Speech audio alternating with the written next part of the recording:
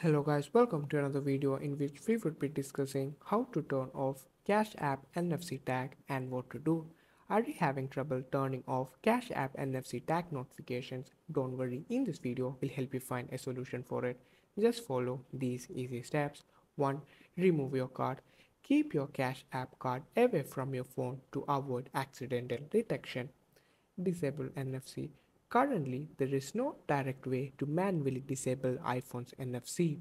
The best you can do is put your Cash App card in an RFID protected wallet or use an RFID protected phone case to prevent the NFC detection. Then, update Cash App. Ensure your app is updated to prevent bugs causing notifications. If the issue persists, consider reinstalling the app or contacting support. To reinstall the app, long press the app and click on remove app. Then select delete app.